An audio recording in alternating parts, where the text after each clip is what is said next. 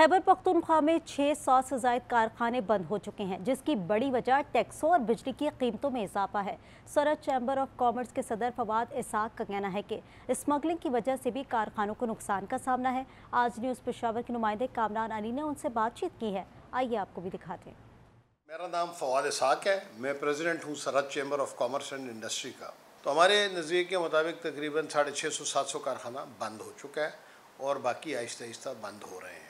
जो हमारे पास नामवर कारखाने हैं, उसके अंदर टेक्सटाइल है, उसमें कई यूनिट बंद हैं।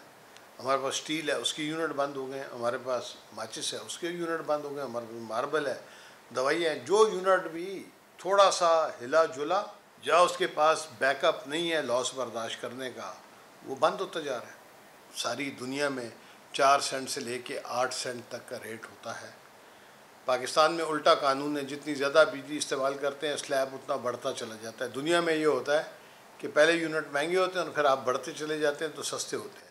आपकी एक्सपोर्ट 30 से 38 बिलियन डॉलर के अंदर जा रही है, जबकि आपकी इंपोर्ट जो हैं, वो छप्पन बिलियन डॉलर से 60 बिलियन डॉलर के दरमियान जा रही हैं। हम भी यहाँ डेफिशट के अंदर हैं। एक तो हमें कंज्यूमर कंट्री बनाया जा रहा है।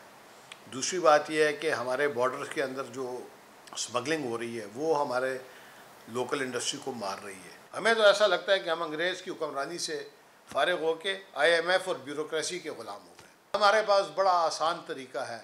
हम ये सब ख़त्म करें। हम सिर्फ़ दो डॉक्यूमेंट उठाएँ, दो पेजर यूई का, और उसको मनो अन फॉलो करें।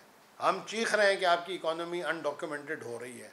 आपकी अस्सी फ़ीसद इकानमी आज अनडॉक्यूमेंटेड हो गई आप ये इकदाम करें और लोगों को तहफ़ दें। बीस साल पार्लिमानी और सॉवरन गारंटी, आप तो देखिए कि आईएमएफ के कर्ज़े भी ख़त्म हो जाएँगे, कारखाने भी लगेंगे।